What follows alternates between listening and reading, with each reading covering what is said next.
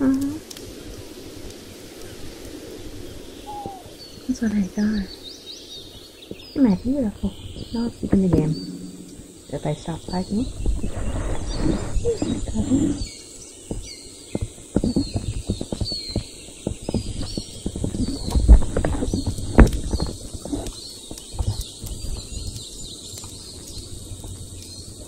Here we go. If it stops freezing. Is one of the more interesting games I've played. Hi there. Thank you very much for playing The Beginner's Guide. My name is Davey Wreden. I wrote The Stanley Parable, and while that game tells a pretty absurd story, today I'm going to tell you about a series of events that happened between 2008 and 2011. We're going to look at the games made by a friend of mine named Coda. Now, these games mean a lot to me. Uh, I met Coda in early 2009 at a time when I was really struggling with some personal stuff, and his work pointed me in a very powerful direction. I found it to be a good reference point for the kinds of creative works that I wanted to make. So, just to start you off, this is, I think, the first game he ever made. It's a level for Counter Strike. You can walk around here, by the way. And uh, mostly it's just Coda learning the basics of building a 3D environment. But what I like is that even though he starts from the simple aesthetic of a desert town, he then scatters these colorful abstract blobs and impossible floating crates around the level. And of course, it destroys the illusion that this actually is a desert town, and instead this level becomes a kind of calling card from its creator. It's like a reminder that this video game was constructed by a real person. And it kind of makes you wonder, what was going through his head as he was building this? This is what I like about all of Coda's games. I mean, not that they're all fascinating as games, but that they are all going to give us access to their creator. I want us to see past the games themselves. I want to get to know who this human being really is. And that's exactly what we're going to do here. So, it's 2008. Coda starts making these games, and he never releases any of them. He doesn't why. put them onto the internet, he just makes them and then immediately abandons them, and they sit on his computer forever. And I think he really understood this image of himself as a recluse. Uh, at one point, he jokingly renamed his computer's recycling bin to Important Games Folder. So, you know, this was just how he worked. He tended to crank them out one after the other without even really pausing to try to understand what he had just made, until suddenly one day, he just stopped. In 2011, that was it. He made his last game, and then he hasn't made another one since. And that's why I've taken this opportunity to gather all of his work together. Is because I find his games powerful and interesting, and I'd like this collection to reach him, to maybe encourage him to start creating again. I like his house. And if the people like you who play this also happen to find his work interesting, then I'm sure it'll just send that much stronger of a message of encouragement to Coda. So thanks for joining me on this. If you have a particular interpretation that I haven't mentioned here, or if you just need to get in touch, you can email me at d-a-v-e-y-w-r-e-d-e-n at gmail.com. Okay, that's about it for introduction. Let's take a look at Coda's first proper game. As each game is loading, I'll show you the date that it was completed. This first one was made in November 2008. Now that you know that this guy made the um, uh, the Stanley Parable.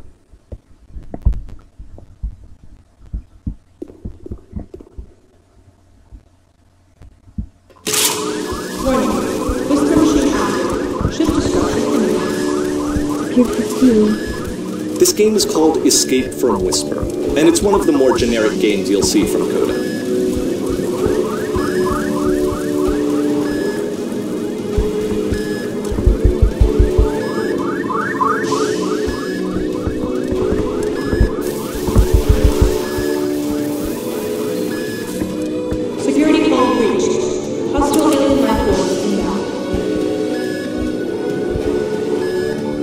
It kind of looks like this game was abandoned mid development. For instance, you have this gun, which you'd think would indicate that there are supposed to be monsters or enemies somewhere, but then clearly there are no enemies anywhere.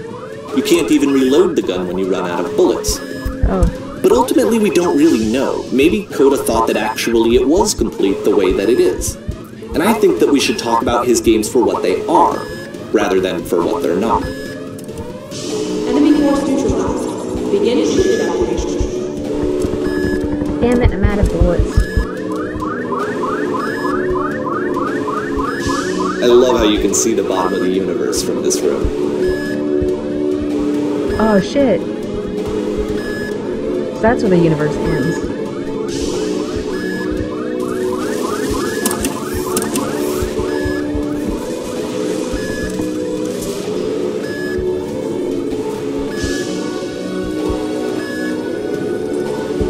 Apparently, this space station has a labyrinth on it. I. Uh, sure, I don't know. There's really no reason for it that I've ever been able to discern, so in the interest of time, I'm just gonna skip you on past it.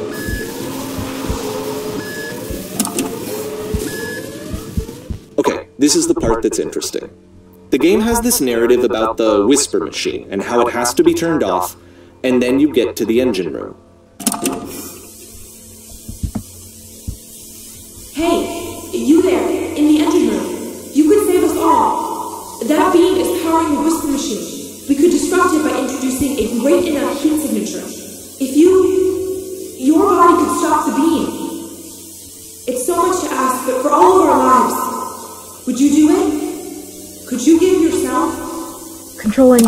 Control ending, I can do it. I am God. Let me pause here for a second. What you just experienced, stepping into the beam and then dying, Is the control ending of Mass probably Effect. what Coda had initially intended when he was developing this level. But when he first compiles and plays it, something goes wrong. There's a bug somewhere. And this is what happens instead.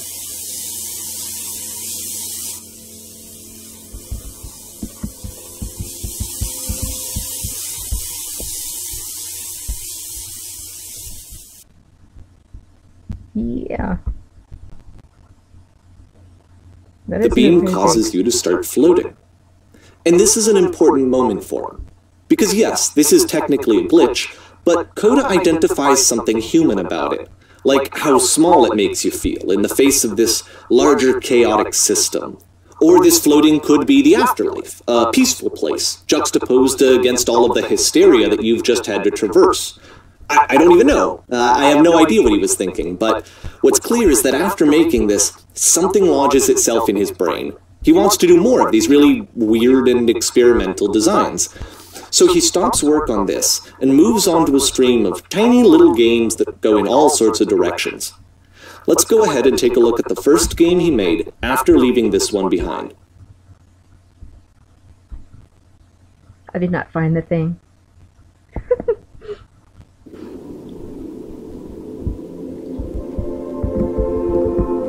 Yep, in this game you can only walk backwards.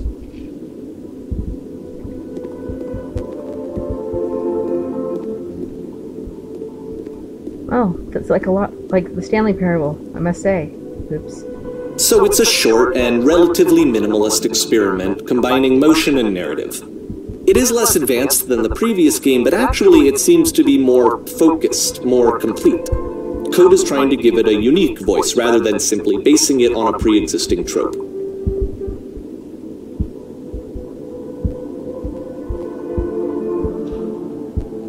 Uh.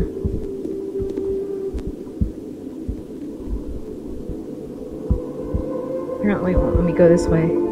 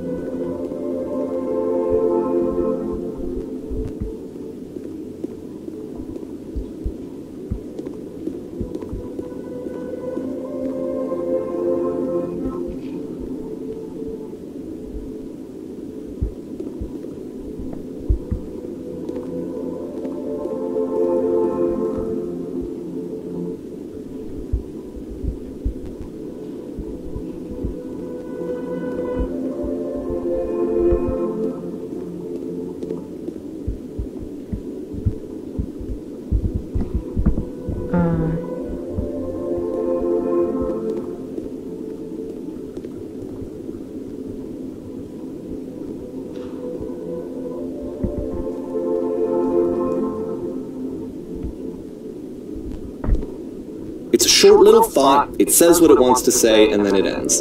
Didn't need anything more than that. which to me is why it works, because it gets out quick. Okay, next one.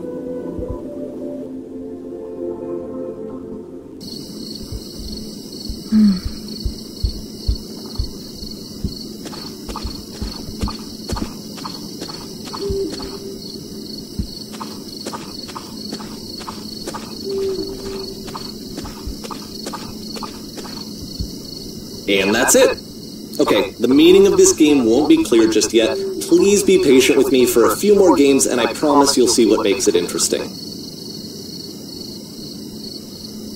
If you say so, guy.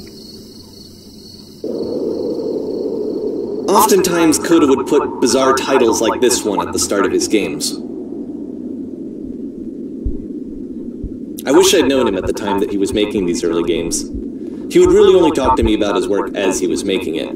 Once he stopped work on a game, like, that was it. It was dead to him. And I don't agree with that at all, but what are you gonna do? I know it's tempting, but there's actually nothing over here. Sorry.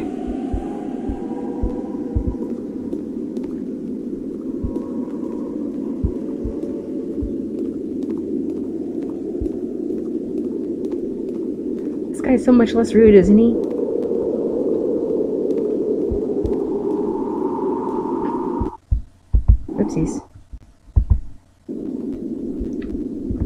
Feel free to join in at any time. He's just chilling next to the computer, probably enjoying the heat.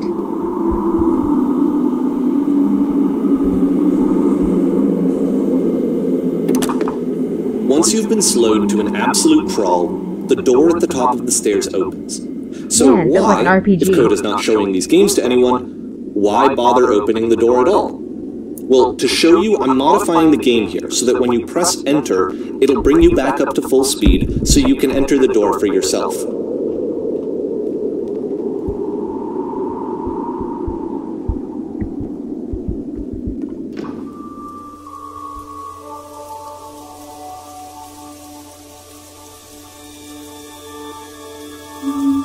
Hey, this sounds like what I did. A room that's warm and nice and filled with little ideas for games.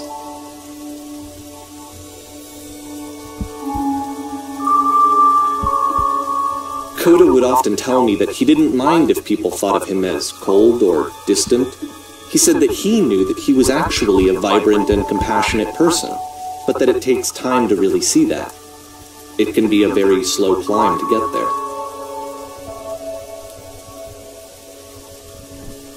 No kidding, that, that narrated another game.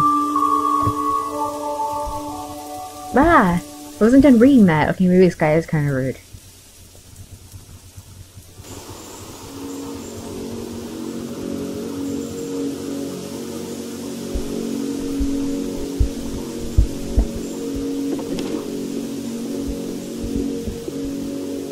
Looks familiar, yes?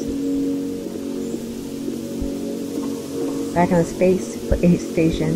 Clearly. Well, this is new for Coda. It's an actual puzzle. Go ahead and see if you can solve it.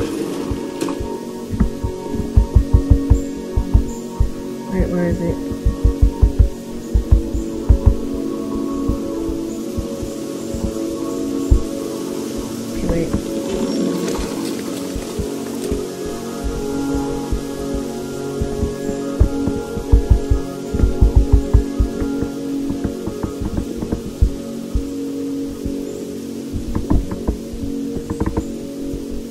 Brightness up on.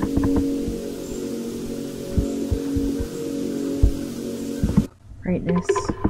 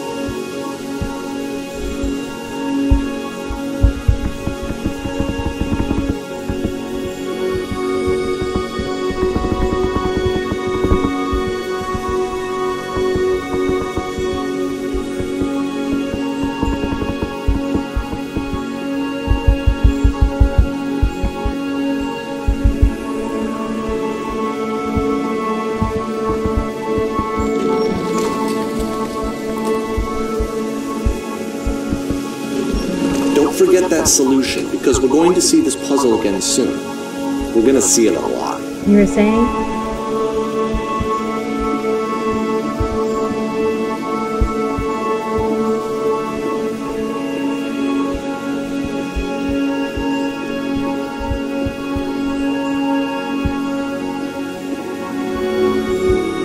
So that seems to be it, right?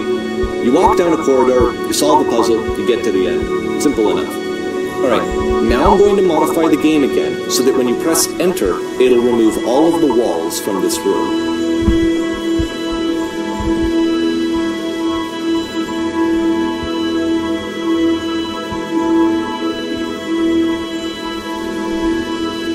How about that?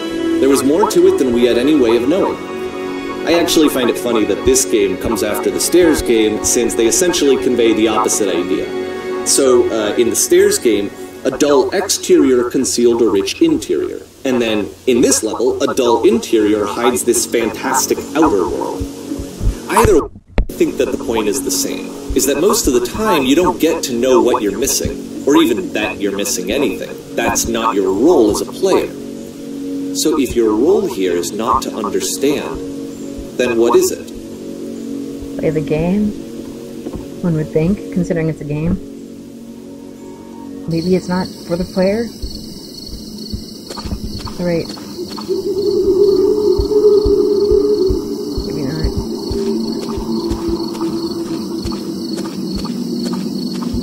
Aha! So, this, combined with the entering game from earlier, tells us that Coda believes his games are connected somehow. It could even be that the stairs game and the puzzle game are literally connected in between this and the entering game.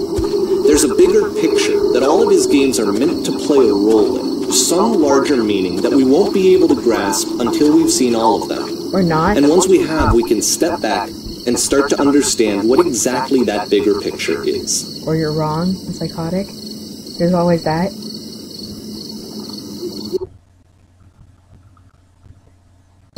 Like it's way too soon to jump to conclusions.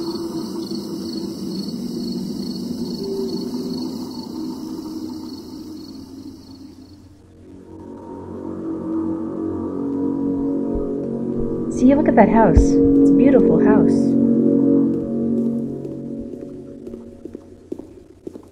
Let's talk about video game development for a second. Every video game runs on what's called an engine, which determines what the game can and cannot do. So, in other words, the engine is a set of tools for game development. Okay. To make all of these games, Coda is using an engine called Source.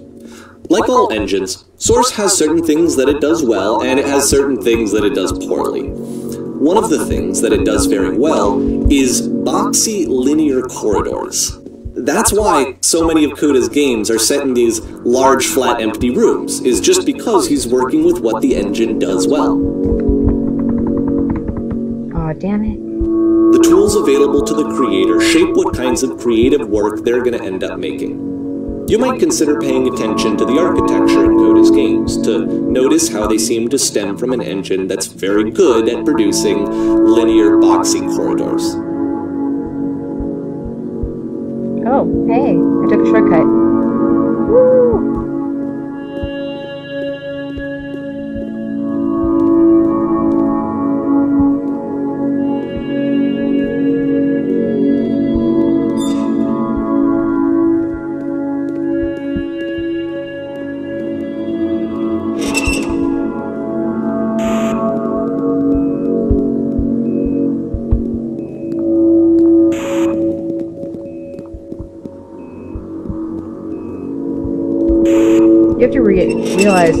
Actually.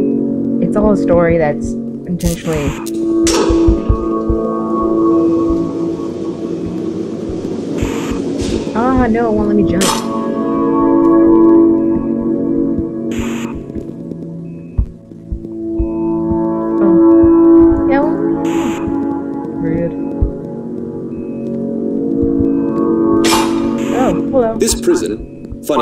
in Coda's original design, the door stayed shut for a full hour before letting you go. If you don't mind, I think we're gonna skip that.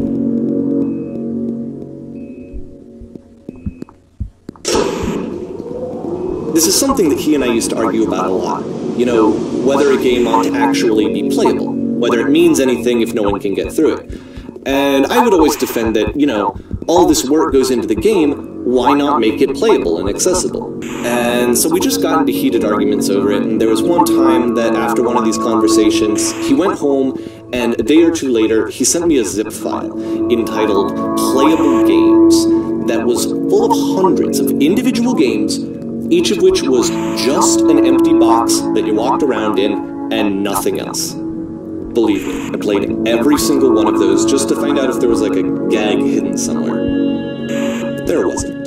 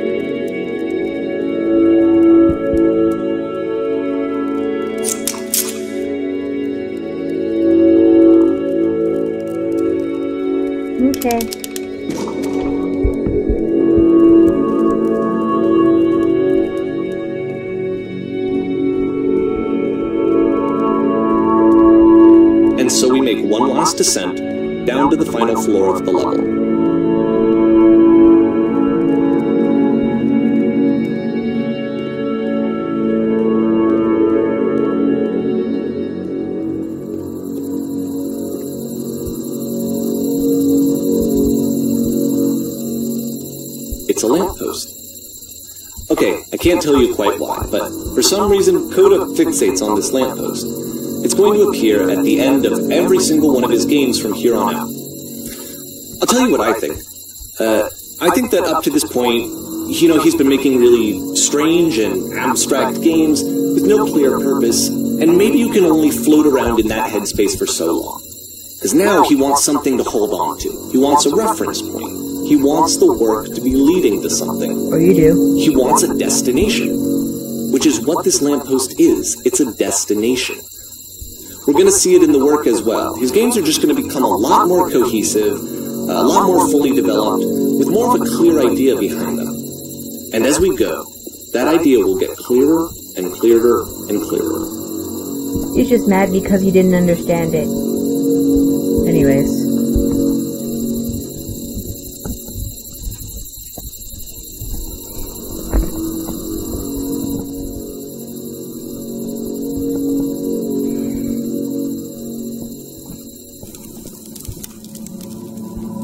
Trying to interpret the games.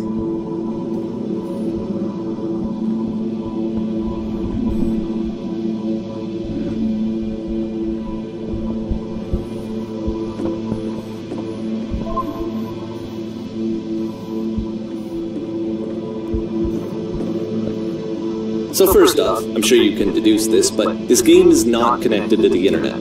All of the notes that you're going to see have been written by Coda. This was actually the first game of his that I ever played. This was shortly after I met him at a weekend game jam in Sacramento, where I grew up. I saw him working on this very level, and it was just so different from anything that anyone else was doing. So right away I was like, I have to be friends with this person. In retrospect, I think I was probably a bit too pushy, trying to get his attention. Uh, I was over enthusiastic. But he was very gracious about it and very patient with me. And I cooled off eventually. Oh, feel free to skip over any of these notes if they're not doing anything for you. Nothing extra is going to happen if you read all of them. Either way, to me they convey a sense of loneliness. I see this person who's filled with thoughts and feelings and beliefs and has no way to express them except as scattered and unheard voices in a game that wasn't meant to be played.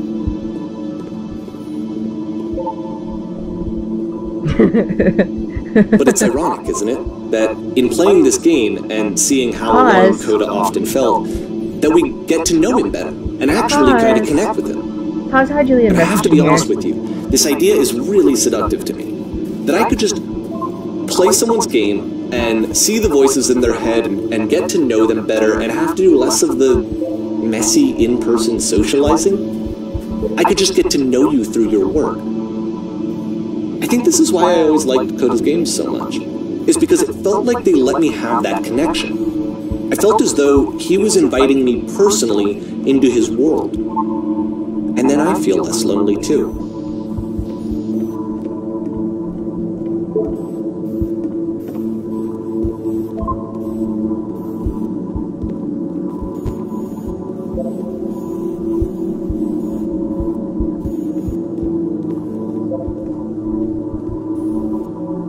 Senpai, please. Notice me.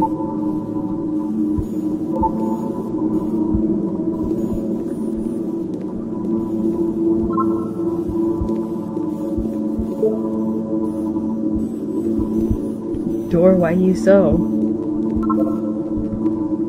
What do?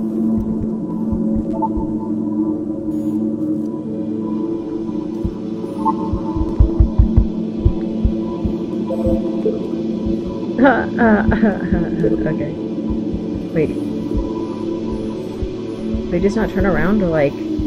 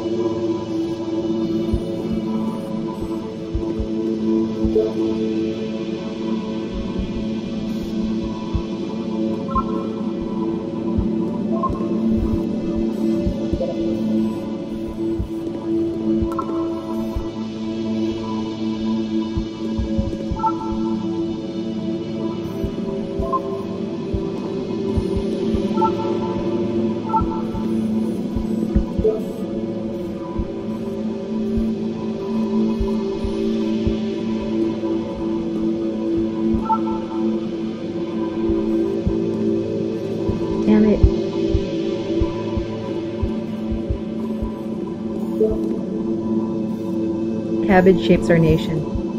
Suddenly it all makes sense.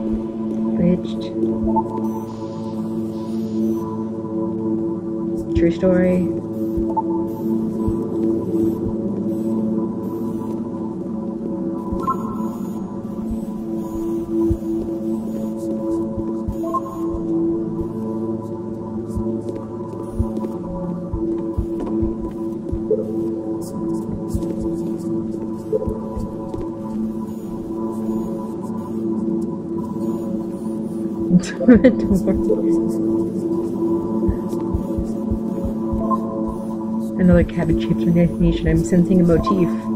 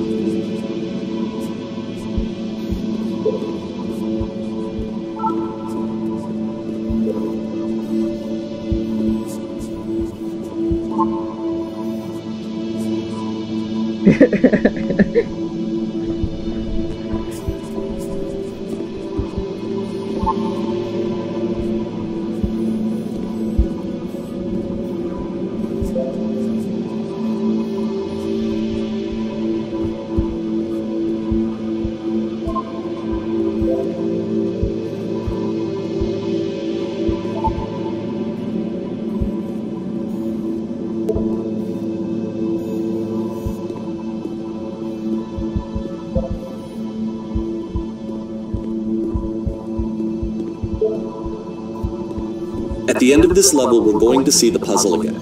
And here, I'll tell you what I think the puzzle means. Each of these games represents an idea that was on Coda's mind at the time that he was making it. And the puzzle is a way of closing the door on a previous chapter of his life before moving on to the next one.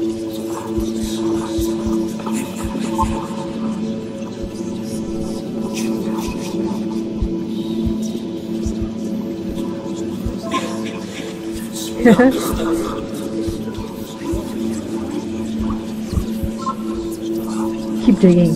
Oh no. Oh no, where's my pick? Where's my pick? There's the there's hell. There's hell. In each of his games, after exploring a theme that, you know, he might find difficult, Coda can then place this puzzle that he knows has a reliable solution, he understands exactly how it works, and so it gives him a simple mechanism for moving on. I don't have a pick. I don't have obsidian walking shoes. What am I supposed to do? I'm doomed.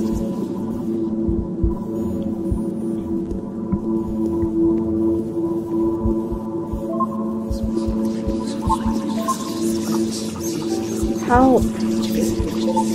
Help!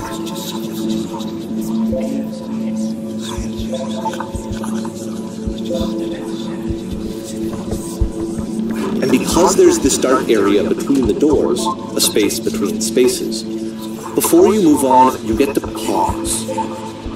Just for a moment, a few seconds to reflect on and let go of the events that led you here. To step back and connect the pieces together. To grasp at that elusive bigger picture. You guys all suck. It was just that one lone nut.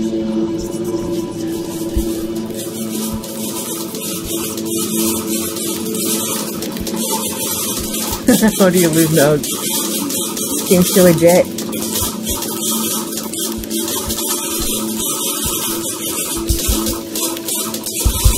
Taka taka.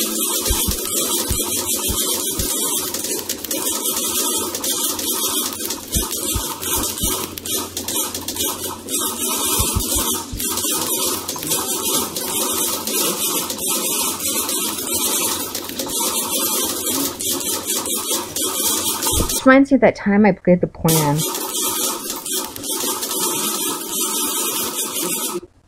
Taka taka taka taka. Okay, this one is tough.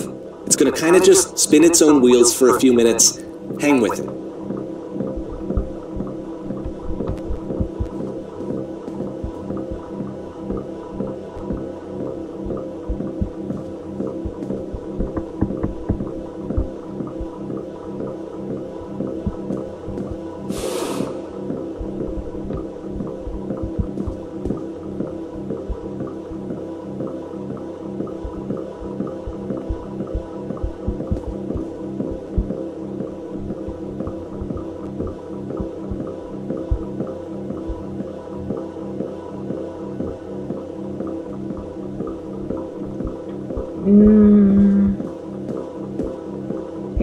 Hey,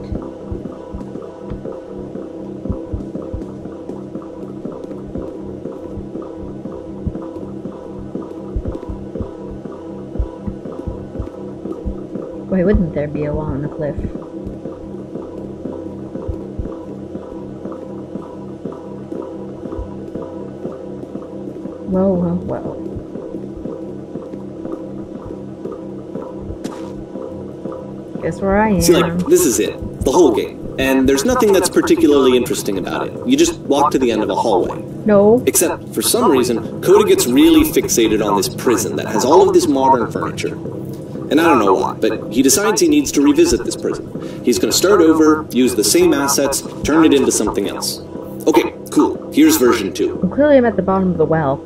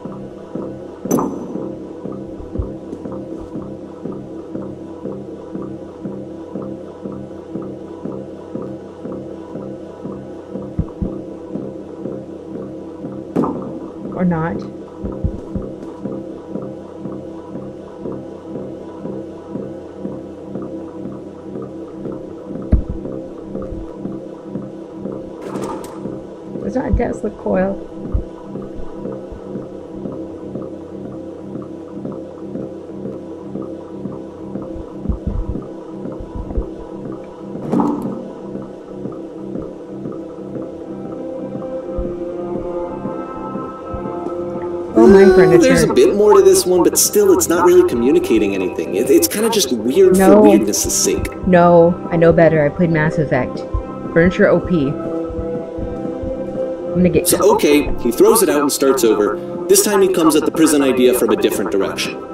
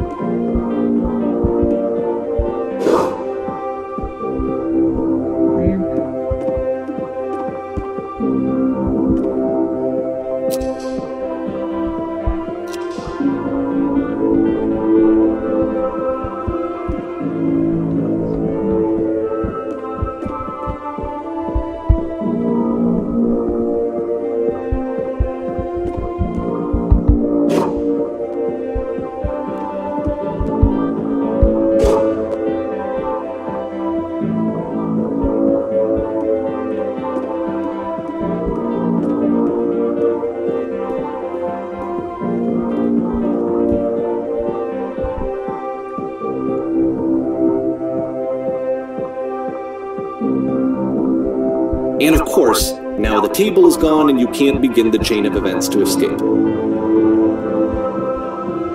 Here's a version where there are no bars, but you can't actually get to the well. And then a version where the inside of the prison is the outside and the outside is the inside. Why? Let me just blink you real quick through a few more of these. I mean, he really unloaded on this prison idea. There's nearly a dozen. Personally, I think it's awful to watch this. To see a person basically unraveling through their work. And for what? Like, at what point do you just go, eh, maybe there are game ideas other than this prison that I could be working on? No, know what? But Coda doesn't have that voice telling you to stop, that particular mechanism of defense against yourself. Without it, you just spiral. You know what? Maybe And he's so he keeps fun. going and going and going and going and going, and then he hits on something. And he likes it. And that's it. He's done. He stops making prisons. And he knows all this, This is the very last version of the prison game that he created. And the reason I think it works is that the prison is not actually in it. Well, duh.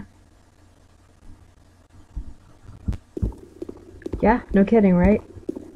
Like this guy thinks he's like professional mind reader.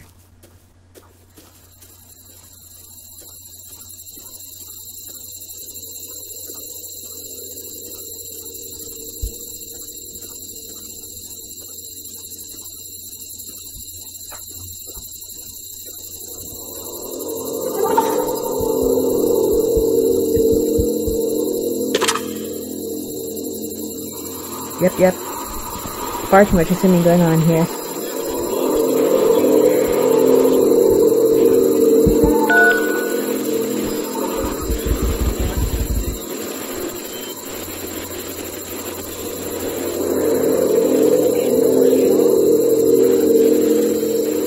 It's a conversation. And so this is what Coda wants, is to be able to talk to someone, to share what's on his mind, and to get some good advice from someone who knows. But the irony is that even in this scenario, you're still talking to yourself. You know, all of these games so far are Coda talking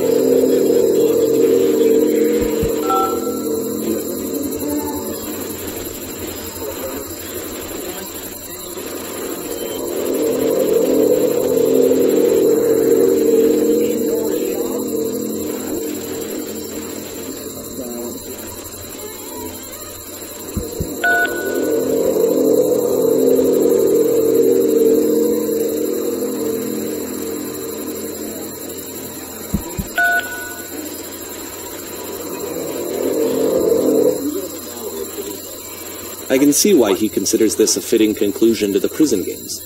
After all of the obsession and frustration, just to be told by someone you can trust that things are going to be okay. Wouldn't that be nice?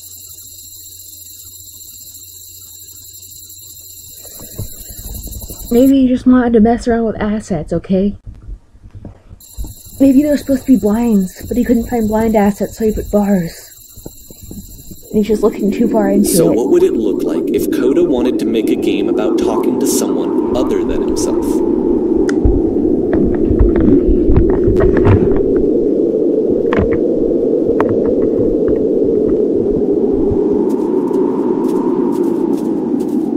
Not for using Unity. To me, this environment is meant to represent Coda's puzzle, with the two doors on either side and a dark transitional space between.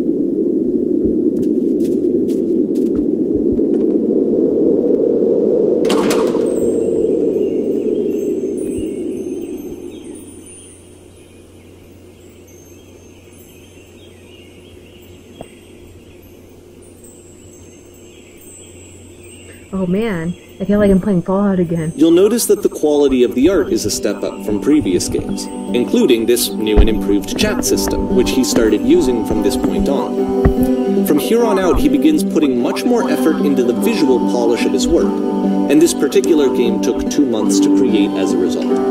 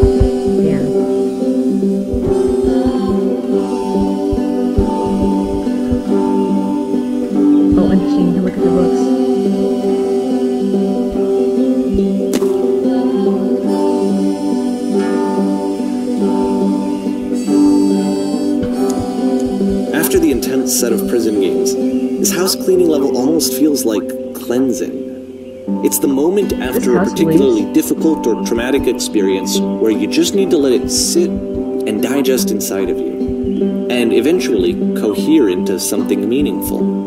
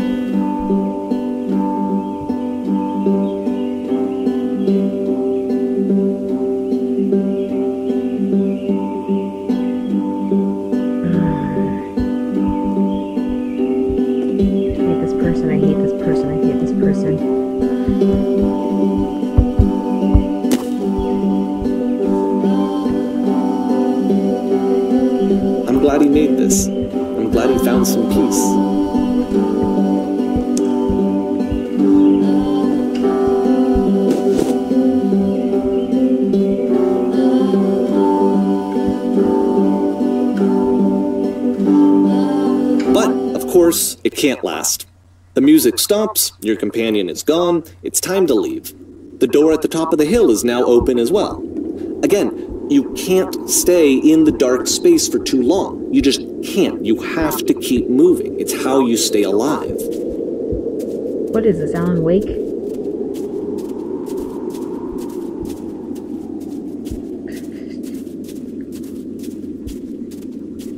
Ooh, I need a flashlight darkness is going to give me whatsoever shall I do.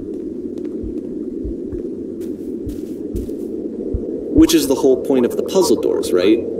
That sooner or later you have to pick up and move. I really thought that was the point of it.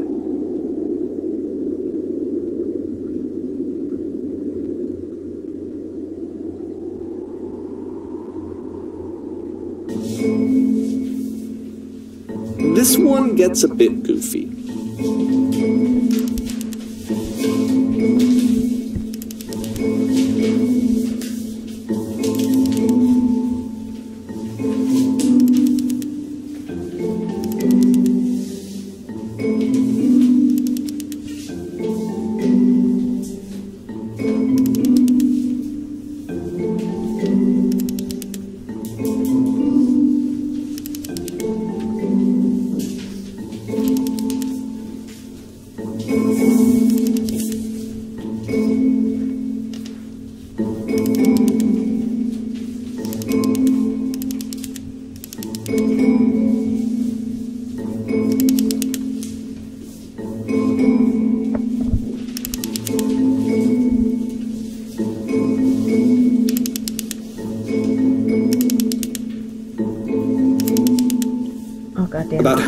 Through the game, the perspective shifts. Reminds me of someone.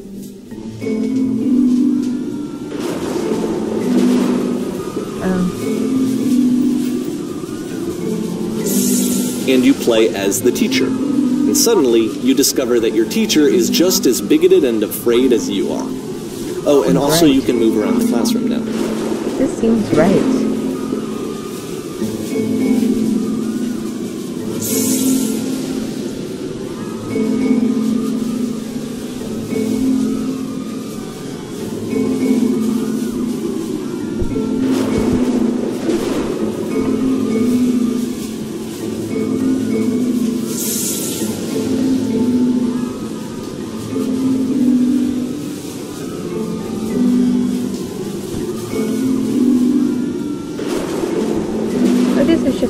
Perspective, and next, you know, the usual.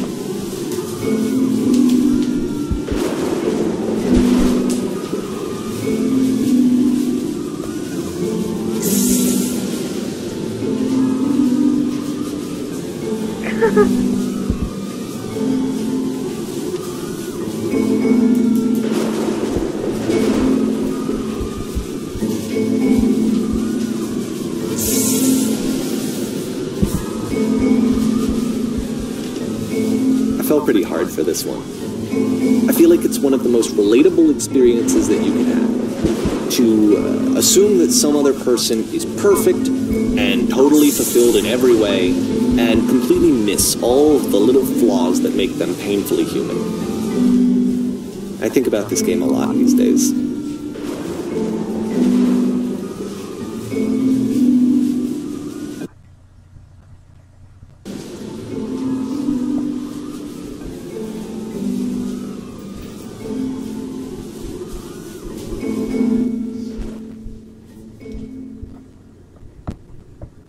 This one took a lot longer than all the others for Coda to make. It was four months between this and the last one. That's twice as long as it took him to make any other game before this, and it's not like it's particularly complex, so I remember I found that a little strange at the time.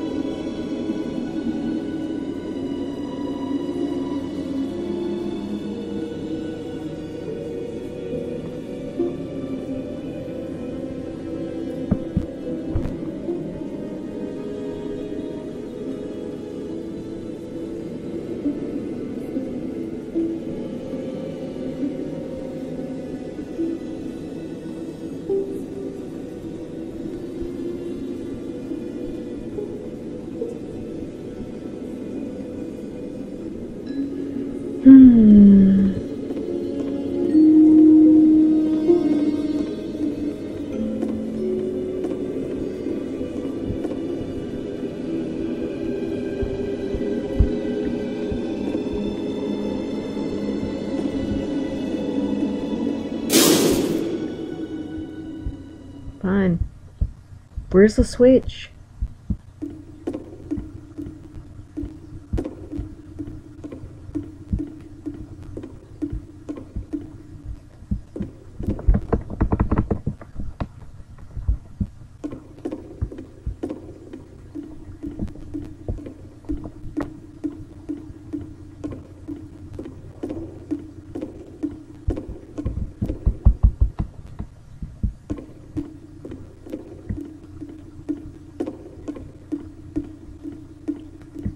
Oh no, it's a stair puzzle again. The game ends with this eerie premonition of what's going to happen next in Coda's life. The solution to social anxiety, to fears of having to perform and having to chase success, the answer for Coda is to withdraw, to hide himself away. Which is what leads to scenarios like the stairs that slowed you down several games ago, where it just becomes harder and harder to access Coda's inner landscape because he keeps retreating. He just keeps backing away from possible connections to anyone other than himself. I need to And to be up. honest, I didn't consider it very healthy when I first played this game. You know, it, it looked to me like he was trying to justify the idea of just disconnecting yourself from the world. God, he's so And that wasn't what I wanted for him or for his games. Because I feel like a lot of his games are inviting me to connect. To connect with this person. To bring him closer. You know what? Maybe he did it for himself. Maybe But what just... can you do? After this, Coda went off and took another five months to make a new game. You know, this seems really like a condescending person, like somebody who's really judgmental. It's like, yeah, I know, right? It's like a bully. It's like, it's like if you're gonna be so judgmental, like focus on developing your own, your own work instead of criticizing somebody else or letting them work at their own pace, and work things out in their own way.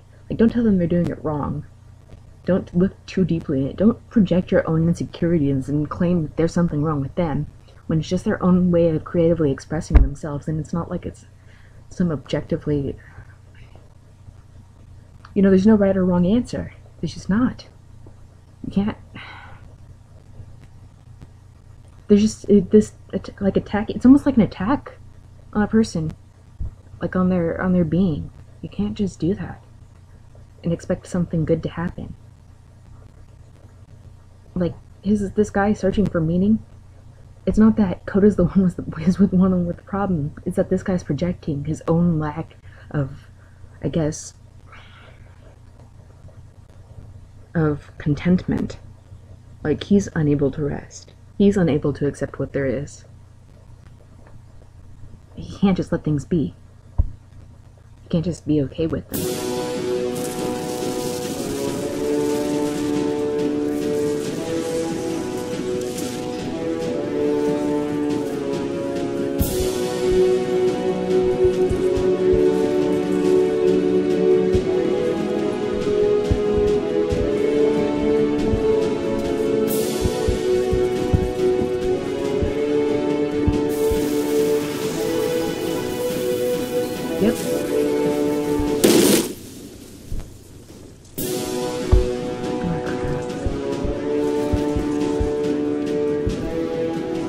Probably open your eyes if you haven't already. It's pretty much impossible to solve otherwise.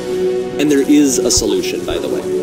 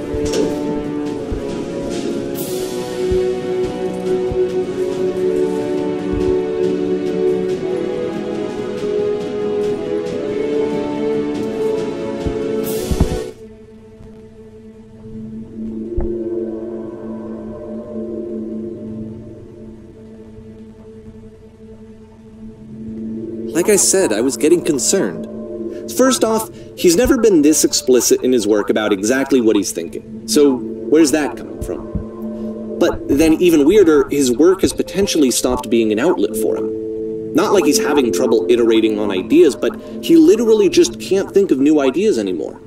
And in person, he was being a lot more distant than usual. Like, I can't figure you know how to say the sometimes a person will just deflect anything that you say in order to keep themselves disconnected all the time? It was that kind of thing. Here was the point in my relationship with Coda where I really started to wonder if he needed my help in some way.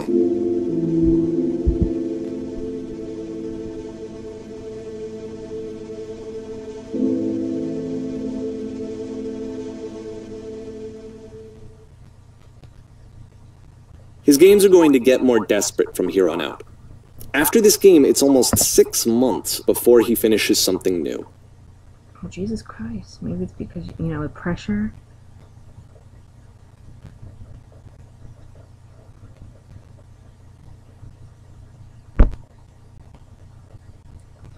Like, don't you get the feeling that, like, the guy who's talking is, like, the guy instigating Coda's anxiety problems? Like, it just seems like he'd be the one making it worse.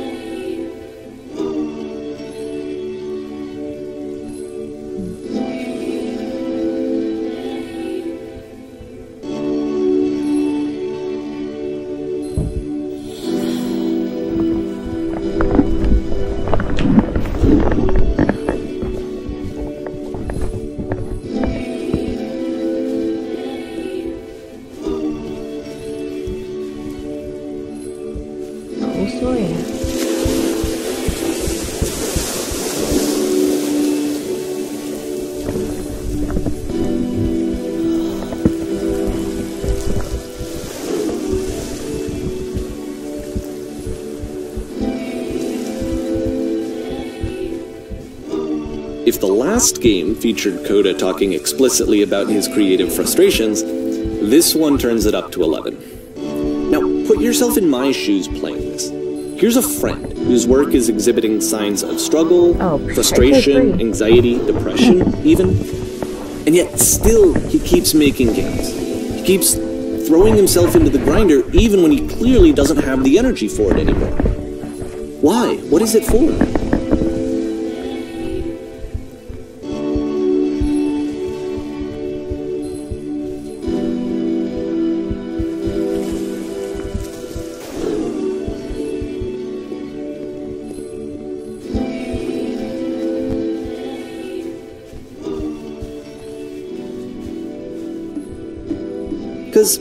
From my perspective at the time, and, and just what I knew of him, this was a result of There how isolated he was. He was in his own little bubble, just sitting at his computer all day, not really showing these games to anyone, uh, not releasing them onto the internet, and so he didn't have anyone outside of himself to connect with. He had no outlet to ground himself on.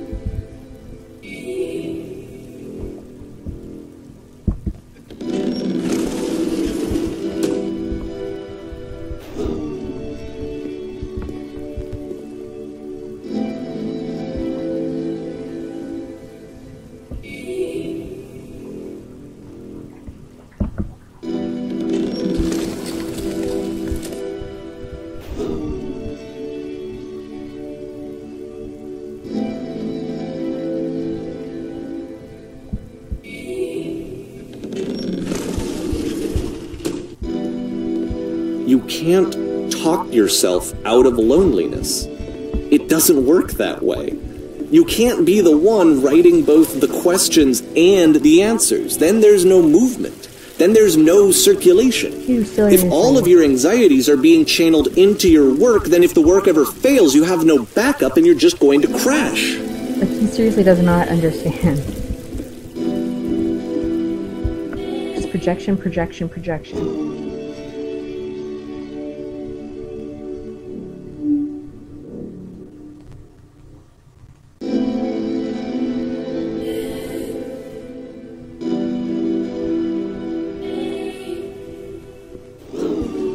Find interesting is like it's like the collective unconscious.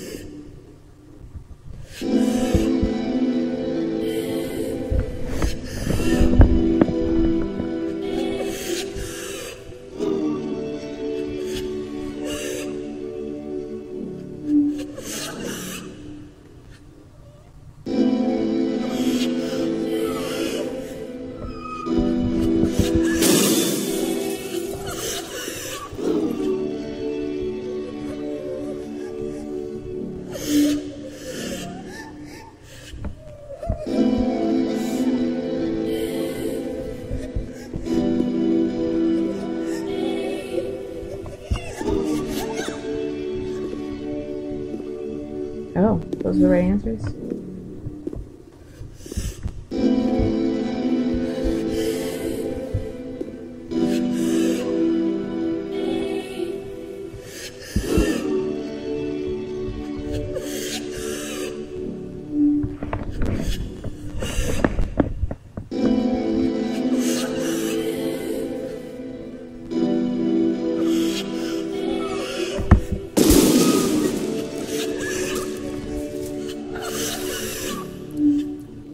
This game at the time that he made it, it looked really unhealthy to me. I was watching him do this to himself, and I hated it. I hated seeing him so trapped. It's like video games are not worth this amount of suffering. Uh, yeah.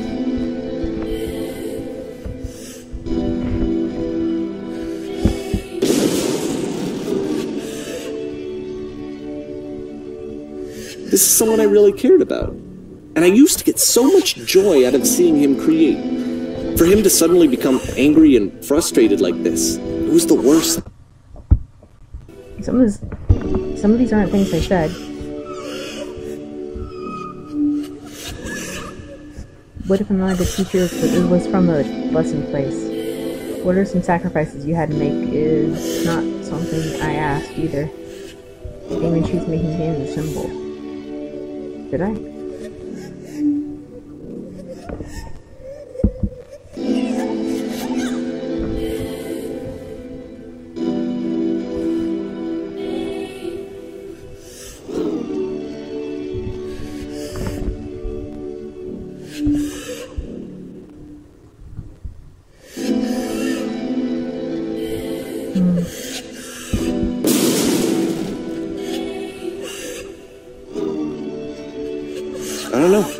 This is what I felt at the time. I don't know how else to explain it. Uh, I wanted it to stop more than anything.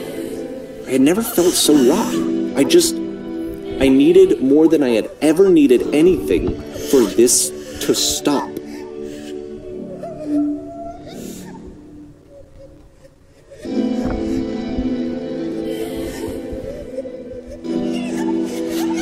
There you go.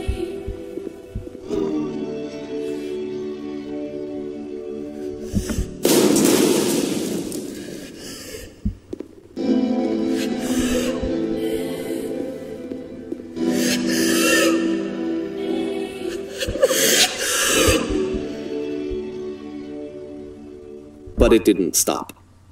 After finishing this one, Coda takes another seven months and comes up with a new game.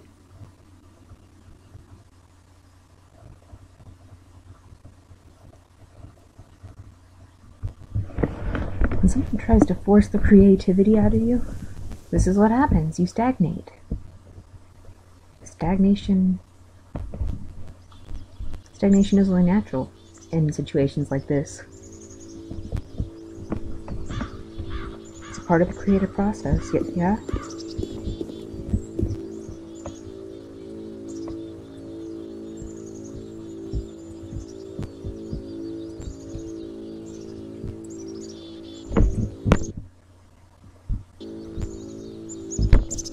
Uh, when you say did, didn't he do it to himself, what do you mean?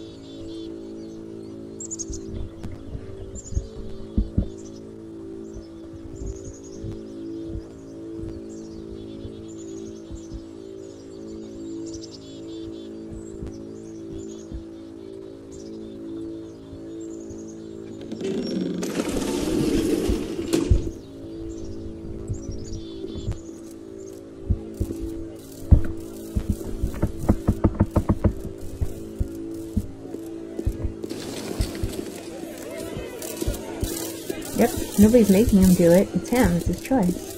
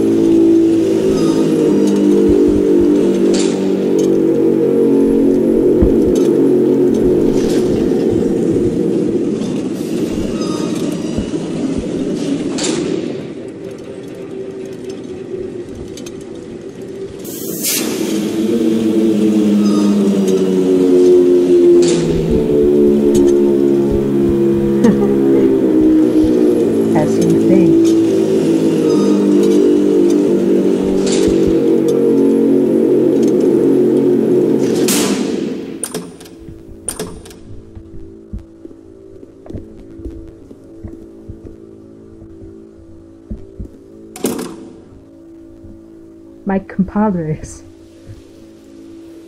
My comrades. Remember the Mass Effect 3.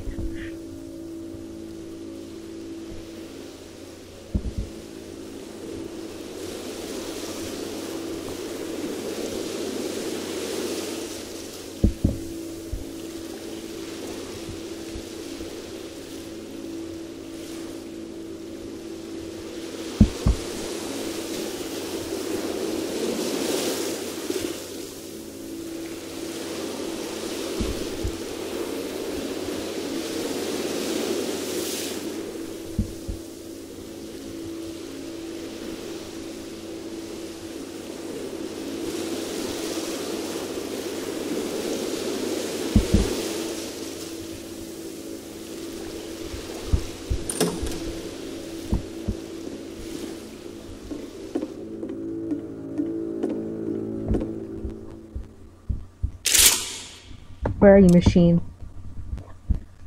I've got limited ammos and I'm not afraid to use them when I find you.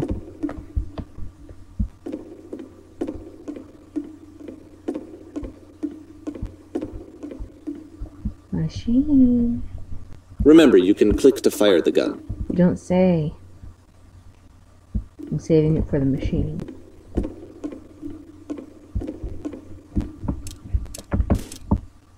Oh, sweet. Purifi- purification.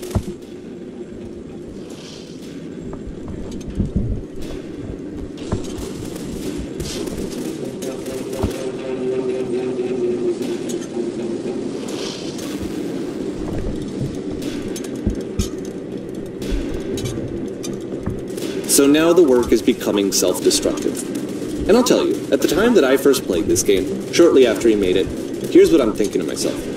I'm thinking that Code is stuck in his own head, and that it's having a very negative effect on him, and that all he needs to do is just start showing his work to people. To get some actual feedback on his games. It might get him out of isolation. So, he tried to show you and you betrayed his trust because you're an asshole you can't see past. Your own. And so, as I'm thinking this, I realize that I could be the one to initiate it. You don't Because it would never occur to Coda to start actively soliciting feedback. So, what if I did it for him?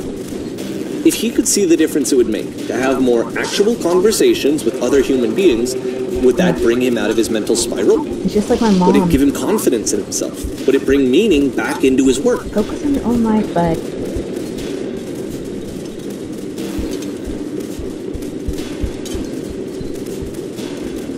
I hate this guy.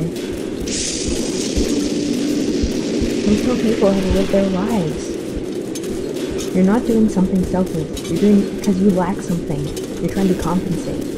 Do it through other means. Don't do it because through other people.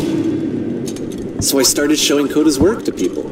I took this one, and the islands which you just played, the theater, the notes, the house cleaning game, and some of the prison escape games. I brought them to people that I knew and, trusted. I asked their opinions. And the great part is that they really loved his games. You know, point of it all is just to give him some external reference point, but they, they genuinely pissed. loved his work. There was pissed. nothing for him to be afraid of. You don't understand. It's something he wanted to keep for himself, right? Like, it's just a betrayal of trust.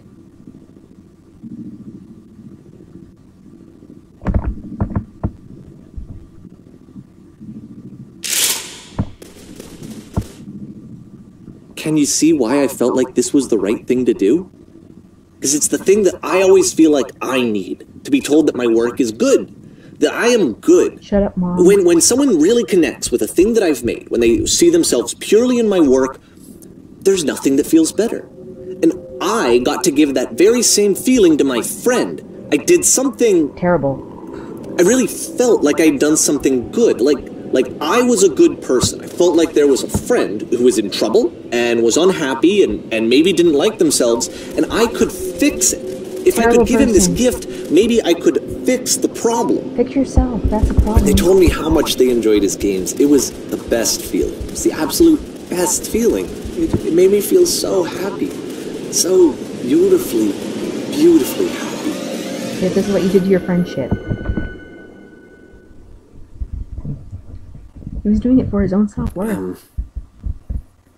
So anyway, Coda finishes this game, and then really he just kind of takes off for a while. So this is June of 2011, and I didn't hear anything from him for several weeks, I guess. Uh, and so out of nowhere, one day I get an email, and it's got a private link to a new game of Coda's. This one is called The Tower, and to my knowledge, it's the last game that Coda ever made. So let's take a look.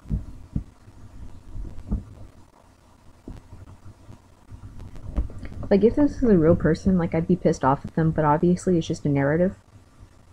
And this is all just scripted. And this guy's just a voice actor. And I know this is real. But people forget that. Oh, this is like Tower, uh, Tower Unite, actually. And this is where I have trouble saying anything meaningful about Coda's work. Because more than anything else, the tower just feels distant. It feels like it's trying to distance itself from the world. Maybe from you, you It's asshole. a very cold game. Maybe you're just a jerk and projecting.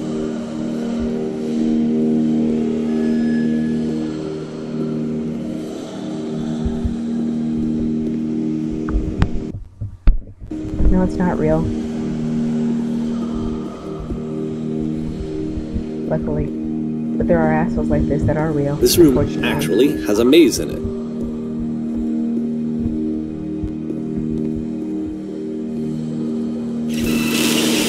Oh gosh, Except that all the walls of the maze are invisible. Not and again. then every time you touch one of the walls, there's this awful flashing and noise, so the experience is really miserable. The game goes beyond not being meant to be played, it actually seems to despise the player for trying to play it at all. But I do want to show you the rest of the levels, so when you're ready to continue, press enter and I'll put a bridge over the maze.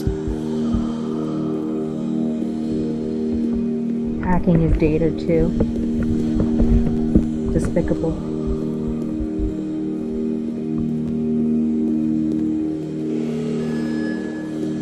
And to be fair, it's not like this is the first game that's needed some modification to be playable. Like the house cleaning game. You know, that one used to actually loop the cleaning chores and you just cleaned a house forever. I had to cut it off so that you could exit the house and the game would actually end. Jerk. But that game had an idea that it was actually trying to communicate. What's the deeper idea behind the invisible maze? You see why this is a problem? He wanted closure and he wasn't getting it, so he tried to make there be closure. Uh, against the at the expense of the other person. And against the will of the other person. Asking permission, just imposing. Thinking they're doing the greater good, trying the white knight, but no. Completely oblivious to the way they're screwing things up. Making things worse. I know people like this. I know people like this who try to fix you. They're the ones who have the most problems with themselves. But they don't see them, they just project them. They Just keep projecting them. The only way past this challenge is to randomly guess the six digit code. Like the invisible maze, it's frustrating to me, because it's the opposite of everything else that Coda has made. It doesn't encourage thought or engagement. It doesn't ask anything of me, except a lot of my time. If I could have reached him during this time, then maybe I could have asked him, but I couldn't. I still don't really understand why this is here. I'll put the code on the ground for you here, though, so that we can move on.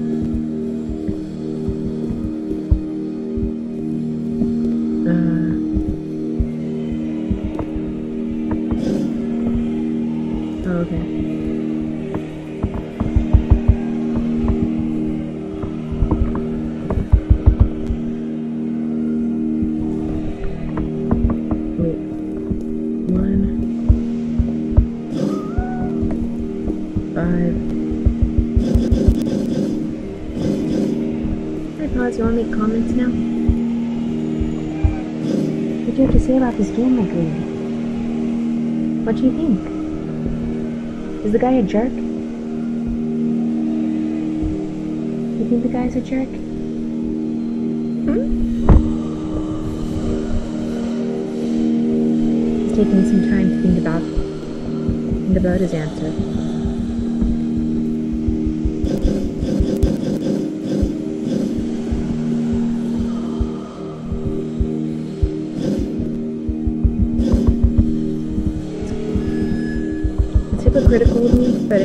It does.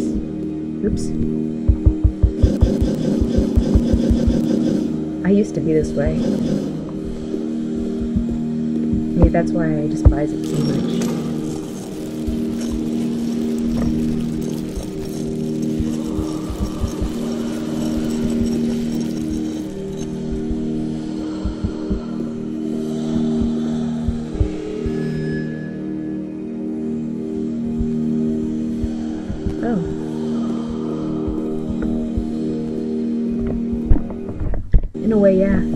Because I didn't really understand, like, my own projecting onto people. That's part of how personality theory helped me understand better. Like, it helped me see my own. It gave me insight, and that's what I lacked. I was too busy focusing on other people to realize my own. The switch to open this door is actually on the other side of the door, meaning that it's literally impossible to solve from this side. So even if you somehow brute forced your way through the first two challenges and you got to this point, there's actually just no way to progress. And it's scary for me, the idea of Coda cutting himself off entirely, just saying, you know, that's it, that's the end of the conversation, not giving me any way to fix the problem. That's your problem, not his. I feel like a failure, I guess, when I can't fix the problem. But I can open this door for you, so let me do that.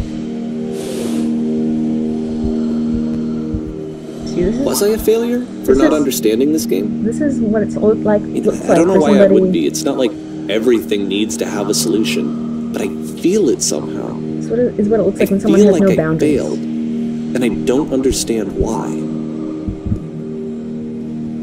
You can't just reflect on the fact that that's your own feelings and not somebody else's. You can't just accept it. You can't just work it out on your own.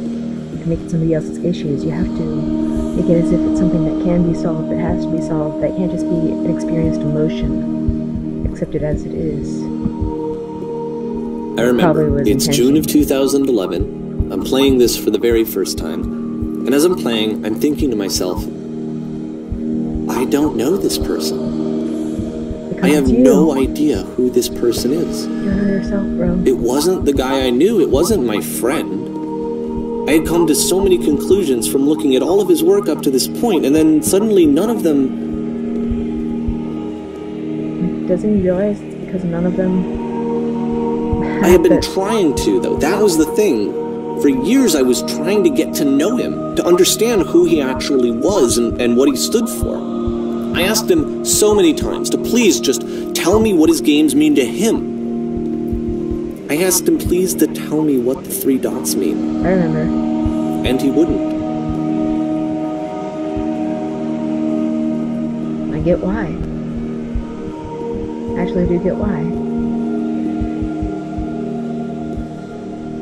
But he can't just make his own conclusions and just leave it at that.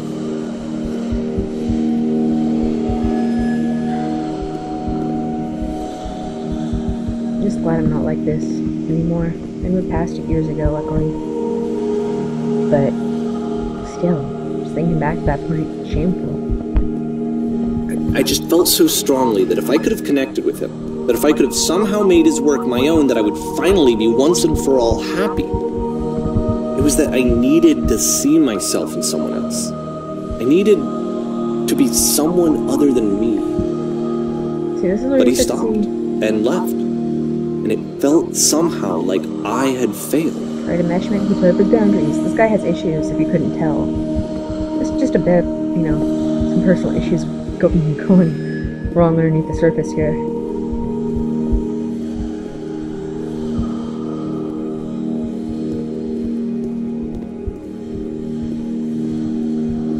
Some identity identity issues. He has some self worth issues. He has problems with closure. Just acceptance. Doesn't have any sense of his own direction in life. He's overly dependent on the perspective or Where opinions of others. up? He's hypersensitive to criticism. He projects his anxieties and his insecurities onto others. And he tries to make meaning where there doesn't have to be one. Or rather, he tries to make it be, me- be meaning when there isn't one meaning. And he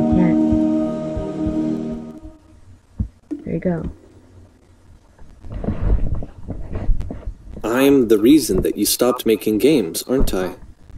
Nope. It's because of what I did. I poisoned it for you.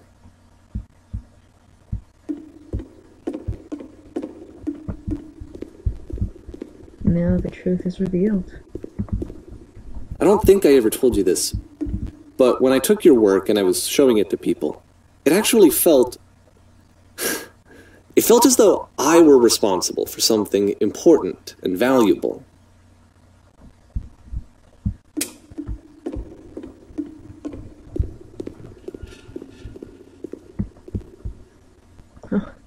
Hold on. And the people who played them, they treated me like I was important. They really listened and cared about what I had to say. Okay, hold on.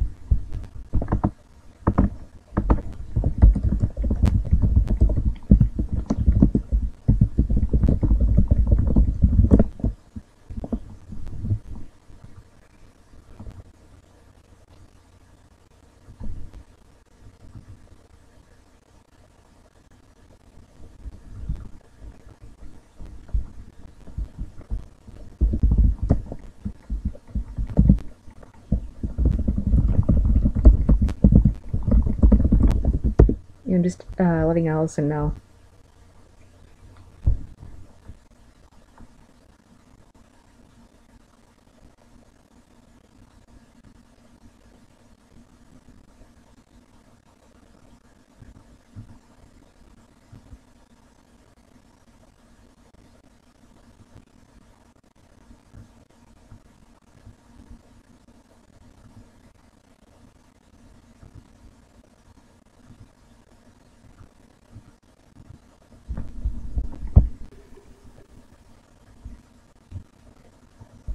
Even though I was showing your work, it was. I felt good about myself. Finally. For a moment, while I had that, I liked myself. Yep.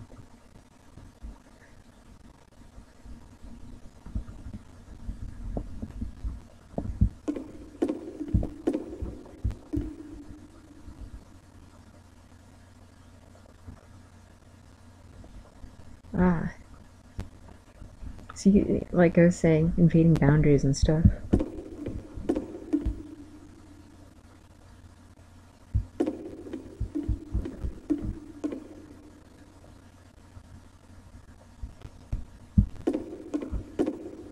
This reminds me of a song, too.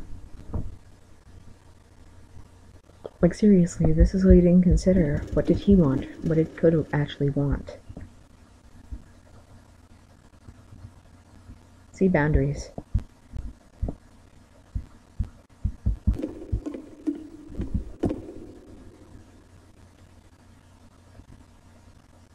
The truth.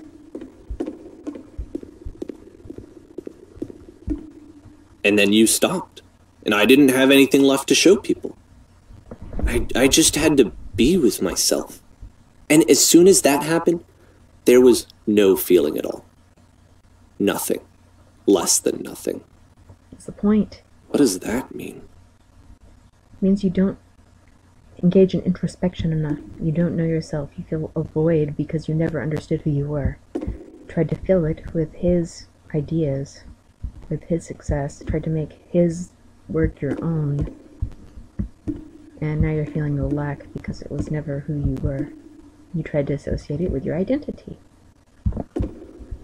That's what I'm getting from this. If, if it were real, that's what it would be. That just, I don't know, just an intuitive thing that I'm picking up on. Maybe I'm wrong. I could be wrong. It's just the, the sense I get.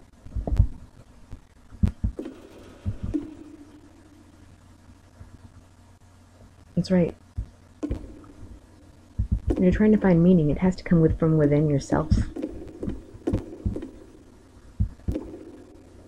Part of the creative process. It's just part of the creative process.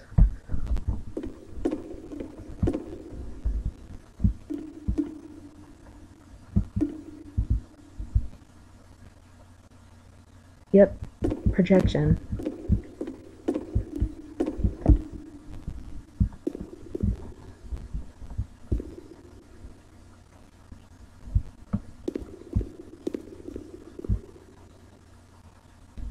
Seriously, it goes both ways.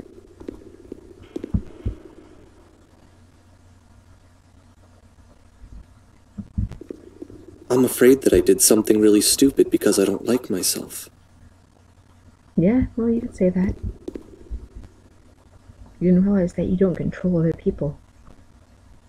Cross some boundaries you shouldn't have, and now you're getting the consequence.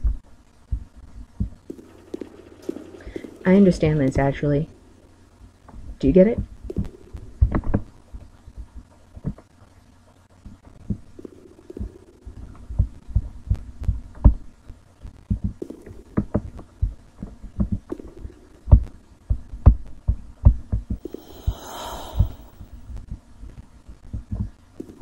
That's why I'm releasing this collection of your work. Is because I haven't been able to find any other way to reach you. I've tried everything. And so a part of me has hope that if I put this compilation out into the world, and if I put my name on it, that maybe enough people will play it so that it'll find its way to you, so that I can tell you that I'm sorry.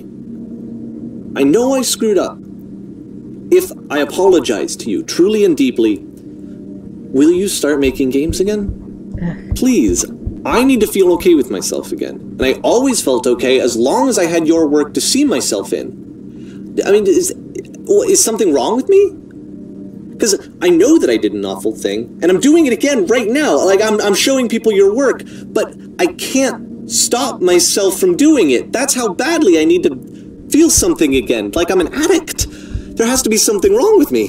Can I apologize? What if I tell you I was wrong? Will that work? Will that fix it? I, I, I don't know. I don't think it will, but there's nothing else that I can do. Just tell me what you want. I'm I'm sorry. I'm sorry.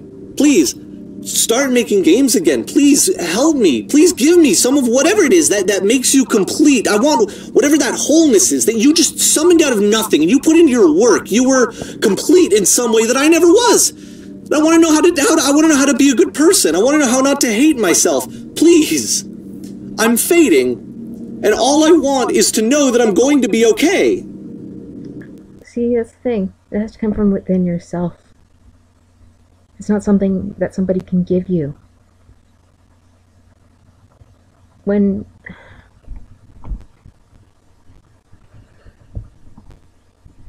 the moment he stops seeking external validation is the moment that he finds closure. That's what it takes. To stop seeking. When you stop seeking, you find.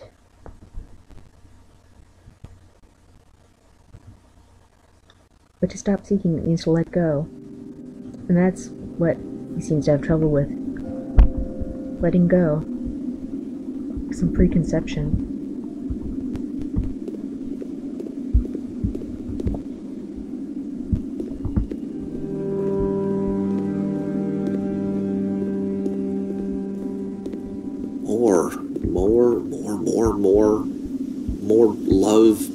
Praise, more people telling me that I'm good. Always more, more, more. It's like a disease. That's what self work does. It's like a vacuum.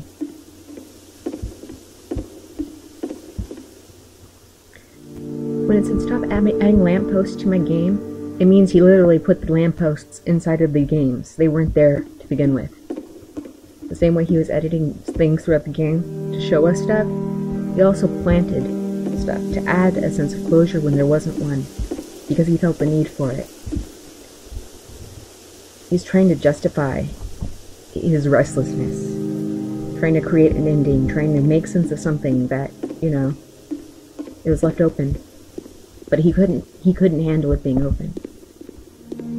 It was too empty for him because it would have required him to look within himself to find a meaning, and he couldn't do that. Had to be something outside of him. It's the only way it could make sense. So he projected.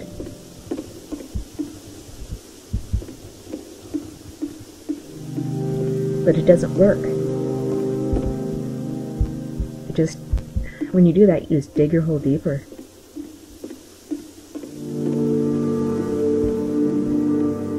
And you do it without knowing it, too. That's what the saddest part is. The first step is to acknowledge the problem. Acknowledge, you know, you feel a lack. That you feel pain. That's when you can start to get better. So he needed to accept that he has his own problems. That Coda couldn't fix him. That's what Coda was trying to say. Though of course this person person isn't real. Like I've known people in these situations. It's not necess- It's not necessarily an easy. It's not an easy thing to just reach an answer to, but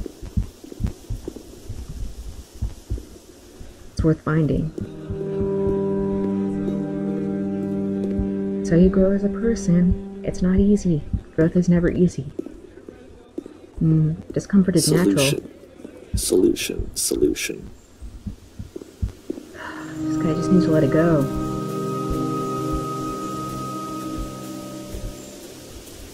Like learn to meditate or something. Jeez. I guess if someone had told me ahead of time that he just really enjoyed making prison games, maybe I wouldn't have thought he was so desperate. I wouldn't have told so many people that he was depressed. Maybe he just likes making prisons.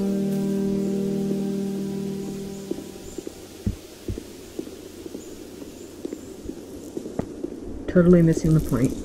Just, missing it totally. Even now, the disease is telling me to stop. Don't show people what a shitty person you are. They'll hate you.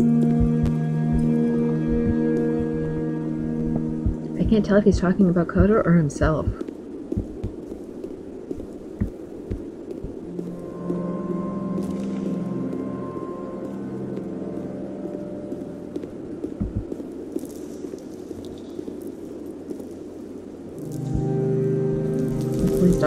Himself. Well, I mean, not that matters. None of this is really real, but. You get what I mean, right?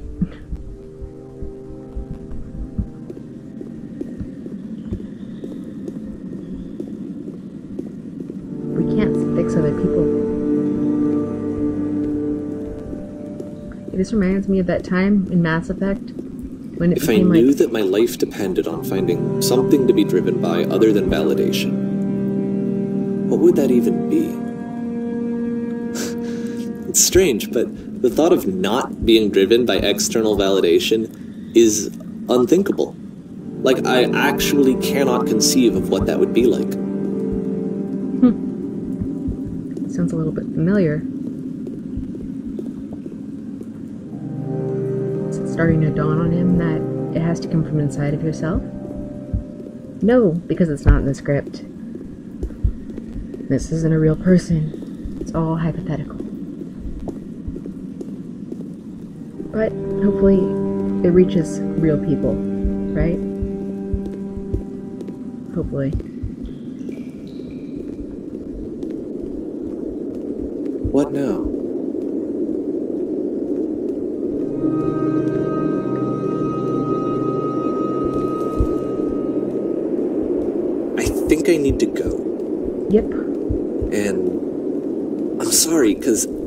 Said that I would be here and, and I would walk you through this, but I'm starting to feel like I have a lot of work to do. Yep. I have a lot that I need to make up for. And so I'm just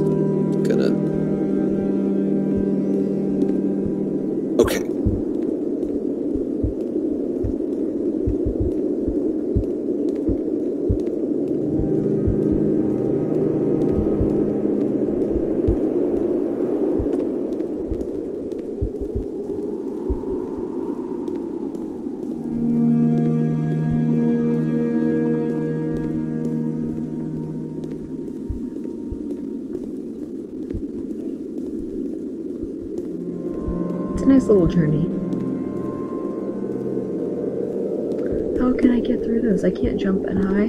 Watch it be like the game I was playing yesterday. I just jump and I fly through them.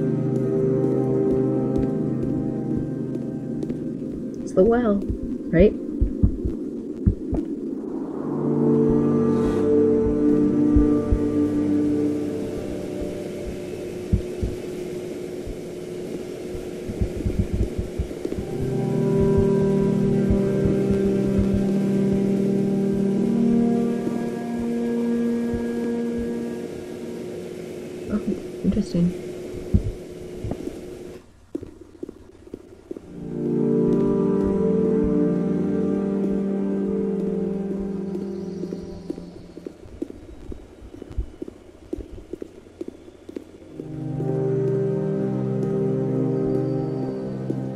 kind of remind me of the existential uh, existential rant I went on after I played the plan, which is that game Fly. I don't know. I don't know if I was live streaming. I think I was live streaming it.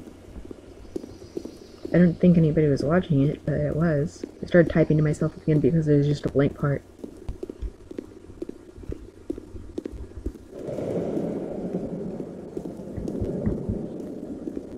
Thought like life.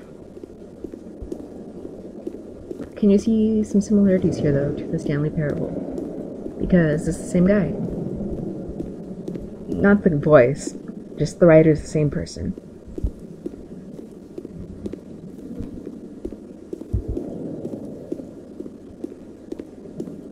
It's pretty good voice acting. Oh, hey, look.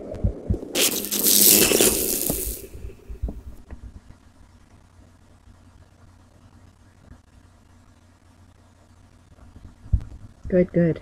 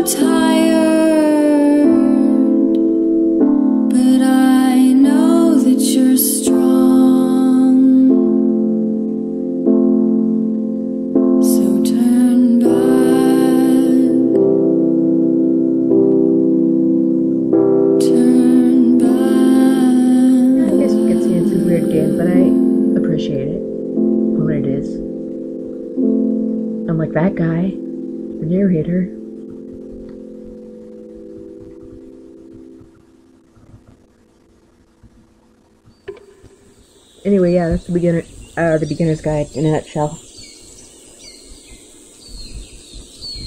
Uh, just play through the whole thing there. And, you know,